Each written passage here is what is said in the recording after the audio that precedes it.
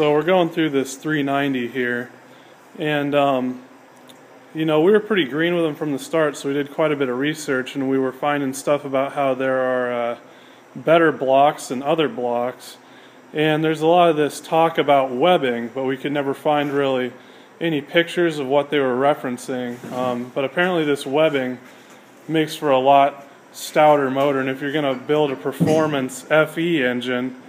Um, you know, this is something that you'd want to have. So we did some looking. We had several engines that we picked up for pretty cheap.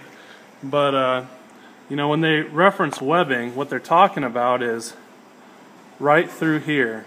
Um, not all the engines have this extra webbing, as you can see, this webbing here. So that adds a lot of strength to the main journals.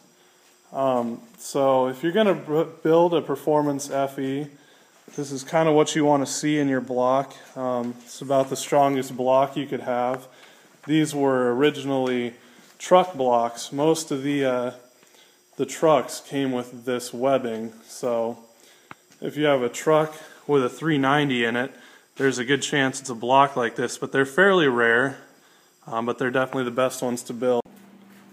So anyway, that's kind of an overview of the uh, better FE block, the one that's a lot more sturdy. So, um, like I said, there's a lot of references to this webbing, but no one ever really shows a picture of what it is. So, um, it's located right there. So, anyway, there you have it.